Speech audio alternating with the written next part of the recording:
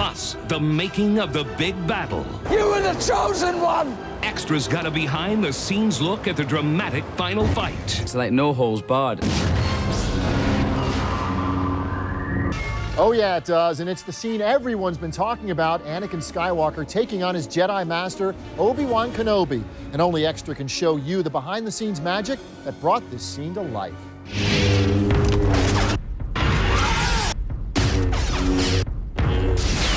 No Star Wars film would be complete without a pair of interstellar swashbucklers swinging the glowing blade of a lightsaber. But for episode three, creator director George Lucas wanted the climactic showdown between Anakin Skywalker and Obi Wan Kenobi to be the biggest duel cinema has ever seen. It's like no holes barred. It's the last one, so we really pulled all the stops out.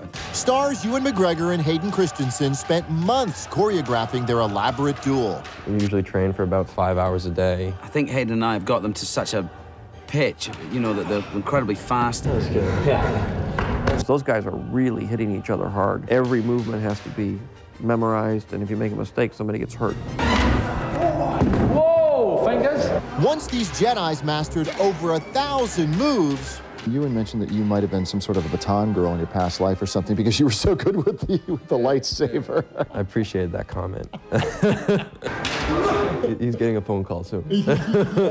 Lucas turned them over to visual effects masters like Todd Vaziri at Industrial Light and Magic. So basically, it all starts with the blue screen. Ewan and Hayden's death-defying duel looks pretty plain now, but once lighting, miniatures, matte paintings, computer-generated elements, and real lava, yes, real lava are added in, These are actual lava blasts uh, photographed on Mount Etna in Sicily. the scene is transformed into a dangerous and dramatic setting befitting Anakin's fall to the dark side.